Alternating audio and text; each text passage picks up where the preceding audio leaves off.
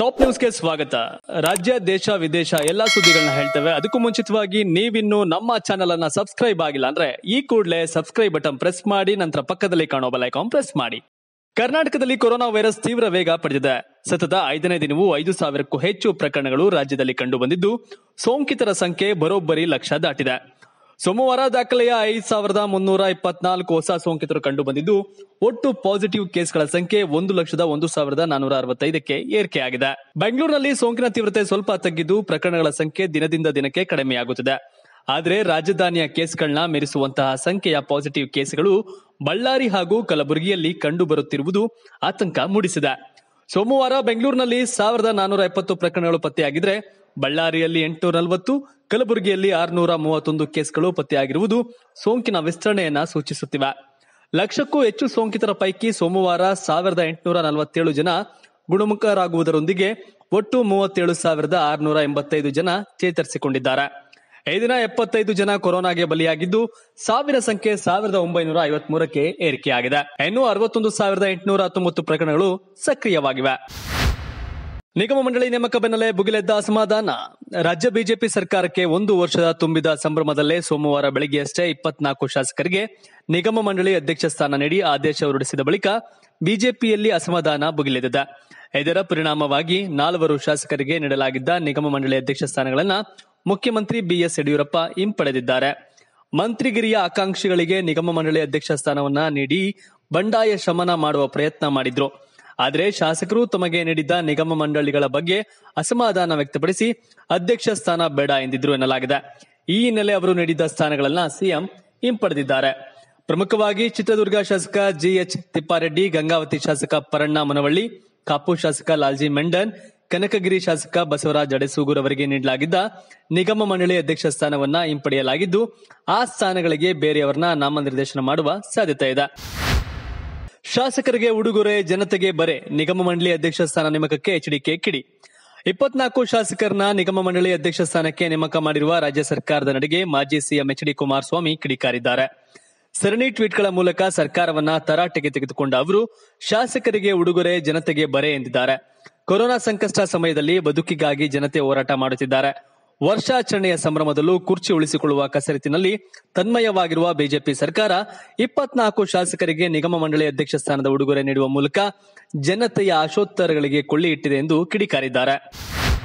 BSY ಸರ್ಕಾರಕ್ಕೆ ಒಂದು ವರ್ಷ, ಸೂತಕದಲ್ಲಿ ಸಂಭ್ರಮಾಚರಣೆ, ಡಿಕೆ ಕಿಡಿ ಏನು, ಬಿಎಸ್ ಯಡಿಯೂರಪ್ಪ ಸರ್ಕಾರದ ಒಂದು ವರ್ಷದ ಸಾಧನೆಯ ಸಮಾರಂಭ, ಸೂತಕದಲ್ಲಿ ಸಂಭ್ರಮಾಚರಣೆ ಎಂದು ಕೆಪಿಸಿಸಿ ಅಧ್ಯಕ್ಷ ಡಿಕೆ ಶಿವಕುಮಾರ್ ಕಿಡಿಕಾರಿದ್ದಾರೆ. ಬೆಂಗಳೂರಿನಲ್ಲಿ ಪತ್ರಿಕಾಗೋಷ್ಠಿಯಲ್ಲಿ ಮಾತನಾಡಿದ ಅವರು, ಬಿಎಸ್ವೈ ಒಂದು ವರ್ಷದ ಆಡಳಿತದಲ್ಲಿ ಸಾಧನೆ ಮಾಡಿದ್ದು ಶೂನ್ಯ ಎಂದು ಆಕ್ರೋಶ ವ್ಯಕ್ತಪಡಿಸಿದರು.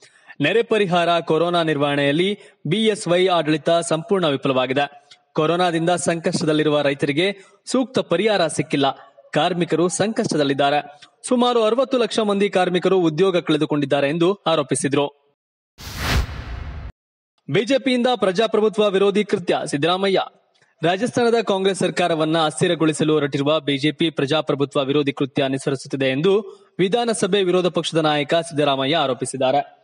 ರಾಜಸ್ಥಾನ ಸರ್ಕಾರ ಅಸ್ಥಿರಗೊಳಿಸಲು ಬಿಜೆಪಿ ಹುನ್ನಾರ ನಡೆಸಿದೆ ಎಂದು ಆರೋಪಿಸಿ ಕೆಪಿಸಿಸಿ ವತಿಯಿಂದ ಹಮ್ಮಿಕೊಂಡಿದ್ದ ಪ್ರತಿಭಟನೆಯಲ್ಲಿ ಭಾಗವಹಿಸಿ ಮಾತನಾಡಿದ ಅವರು, ಕೇಂದ್ರ ಹಾಗೂ ರಾಜ್ಯ ಸರ್ಕಾರದ ವಿರುದ್ಧ ಆಕ್ರೋಶ ವ್ಯಕ್ತಪಡಿಸಿದರು.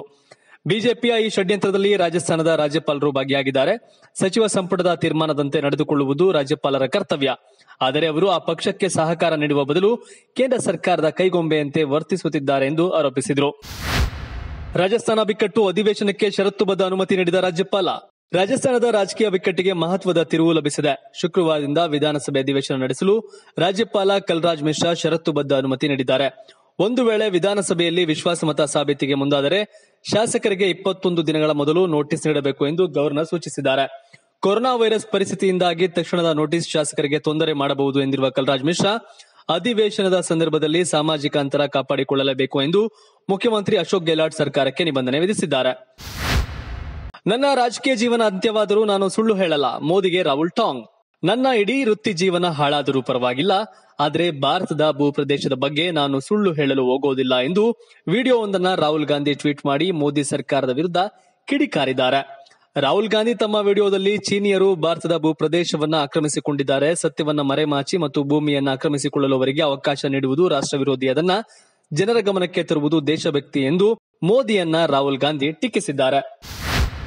ಮತ್ತೆ ನಲವತ್ತೇಳು ಚೀನಾ ಹ್ಯಾಪ್ ಮೇಲೆ ನಿಷೇಧ ಹೇರಿದ ಕೇಂದ್ರ. ಗಡಿ ತಂಟೆಗೆ ಬಂದ ಚೀನಾಗೆ ಹ್ಯಾಪ್ ನಿಷೇಧದ ಹೊಡೆತ ನೀಡಿದ ಪ್ರಧಾನಿ ಮೋದಿ ನೇತೃತ್ವದ ಕೇಂದ್ರ ಸರ್ಕಾರ, ಇದೀಗ ಮತ್ತೆ ನಲವತ್ತೇಳು ಹ್ಯಾಪ್ಗಳನ್ನ ನಿಷೇಧಿಸುವ ಮೂಲಕ ಭಾರಿ ಹೊಡೆತ ನೀಡಿದ. ಈಗಾಗಲೇ ಐವತ್ತೊಂಬತ್ತು ಚೀನಿ ಹ್ಯಾಪ್ಗಳ ಮೇಲೆ ನಿಷೇಧ ಹೇರಿದ್ದ ಮೋದಿ ಸರ್ಕಾರ, ಇದೀಗ ಹೊಸದಾಗಿ ನಲವತ್ತೇಳು ಹ್ಯಾಪ್ಗಳ ಮೇಲೆ ನಿಷೇಧ ಹೇರಿ ಆದೇಶ ಹೊರಡಿಸಿದೆ. ಈ ಮೂಲಕ ಎರಡನೇ ಬಾರಿ ಚೀನಾಗೆ ಭಾರಿ ಆಘಾತ ನೀಡಲಾಗಿದೆ. ಈ ಕುರಿತು ಮಾಹಿತಿ ನೀಡಿರುವ ಕೇಂದ್ರ ಮಾಹಿತಿ ಮತ್ತು ತಂತ್ರಜ್ಞಾನ ಸಚಿವ ರವಿಶಂಕರ್ ಪ್ರಸಾದ್ ಸುರಕ್ಷತೆ ದೃಷ್ಟಿಯಲ್ಲಿ ಚೀನಾದ ನಲವತ್ತೇಳು ಹ್ಯಾಪ್ಗಳ ಮೇಲೆ ನಿಷೇಧ ಹೇರಲಾಗಿದೆ ಎಂದು ಸ್ಪಷ್ಟಪಡಿಸಿದ್ದಾರೆ. ಫ್ರಾನ್ಸ್ನಿಂದ ಭಾರತಕ್ಕೆ ಹೊರಟ ಐದು ರಫೇಲ್ ಯುದ್ಧ ವಿಮಾನಗಳು, ಫ್ರಾನ್ಸ್ನಿಂದ ಮೊದಲ ಬ್ಯಾಚ್ನ ರಫೇಲ್ ಯುದ್ಧ ವಿಮಾನಗಳು ಹೊರಟಿವೆ. ಅಲ್ಲಿನ ವಾಯುನೆಲೆಯಿಂದ ಐದು ರಕ್ಕಸ ರಫೇಲ್ ಯುದ್ಧ ವಿಮಾನಗಳು ಭಾರತದತ್ತ ಹಾರಾಟ ನಡೆಸಿವೆ. ಬುಧವಾರ ಭಾರತಕ್ಕೆ ಈ ಯುದ್ಧ ವಿಮಾನಗಳು ಬಂದು ಲ್ಯಾಂಡ್ ಆಗಲಿವೆ. ಹರಿಯಾಣದ ಅಂಬಾಲಾ ವಾಯುನೆಲೆಗೆ ಈ ಯುದ್ಧ ವಿಮಾನಗಳು ಬಂದು ತಲುಪಲಿವೆ. ಮಂಗಳವಾರ ಯುಎಇನಲ್ಲಿ ನಿಲ್ಲಿಸಿ ನಂತರ ಮತ್ತೆ ಅಲ್ಲಿಂದ ಹೊರಡುವ ರಫೇಲ್ ಫೈಟರ್ ಜೆಟ್ಗಳು ಬುಧವಾರ ಬೆಳಗ್ಗೆ ಭಾರತಕ್ಕೆ ಬಂದು ತಲುಪಲಿವೆ. ಈಗಾಗಲೇ ಭಾರತೀಯ ವಾಯುಸೇನೆಯ ಕೆಲ ಸಿಬ್ಬಂದಿಗೆ ರಫೇಲ್ ಸಂಬಂಧ ತರಬೇತಿ ನೀಡಲಾಗಿದ್ದು, ಆದಷ್ಟು ಬೇಗ ರಫೇಲ್ ವಾಯುಸೇನೆ ಸೇರ್ಪಡೆಗೊಂಡು ಕಾರ್ಯಾಚರಿಸಲಿದೆ ಎಂದು ಸೇನಾ ಮೂಲಗಳು ತಿಳಿಸಿವೆ. ರಾಮ ಮಂದಿರ ಭೂಮಿ ಪೂಜೆಗೆ ಸಿಂಗಾರಗೊಂಡ ಅಯೋಧ್ಯೆ. ಇದೇ ಆಗಸ್ಟ್ ಐದರಂದು ಅಯೋಧ್ಯೆಯ ರಾಮ ಜನ್ಮಭೂಮಿಯಲ್ಲಿ ಪ್ರಧಾನಿ ಮೋದಿ ಭವ್ಯ ರಾಮ ಮಂದಿರಕ್ಕೆ ಪೂಜೆ ನೆರವೇರಿಸಲಿದ್ದಾರೆ. ಈ ಹಿನ್ನೆಲೆಯಲ್ಲಿ ಅಯೋಧ್ಯ ನಗರ ಸಿಂಗಾರಗೊಂಡು ನಳನಳಿಸುತ್ತಿದೆ. ವಿಶೇಷವೆಂದರೆ ಇಡೀ ನಗರ ಕೇಸರಿಮಯವಾಗಿದ್ದು ನಗರದ ಪ್ರಮುಖ ರಸ್ತೆಗಳು ಹಾಗೂ ಕಟ್ಟಡಗಳನ್ನ ಕೇಸರಿ ಬಣ್ಣದಲ್ಲಿ ಕಂಗಳಿಸುವಂತೆ ಮಾಡಲಾಗಿದೆ.